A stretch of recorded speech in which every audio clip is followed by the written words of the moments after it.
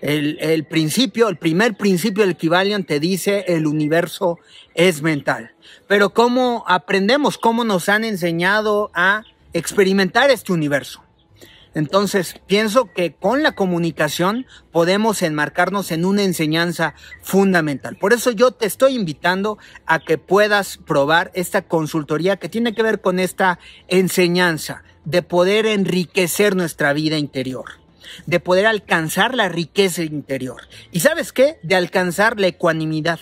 Queremos el equilibrio, queremos sentir el equilibrio en todas nuestras relaciones, que tengo una ecuanimidad en mi experiencia con mi salud personal, que tengo una ecuanimidad, un equilibrio entre mis relaciones sociales y entre mi vida familiar y con mi vida laboral con mi trabajo. Entonces, si yo alcanzo esa ecuanimidad, ese equilibrio, voy a sentir plenitud, voy a sentir desarrollo. Y entonces, yo quiero compartir esta información contigo, con todos los que tú quieras y, y ver cuáles son los resultados, porque finalmente ese es, eso es lo importante, intercambiar información, llevarnos a una nueva cultura, a una nueva percepción y alcanzar nuevos estrados de conocimiento.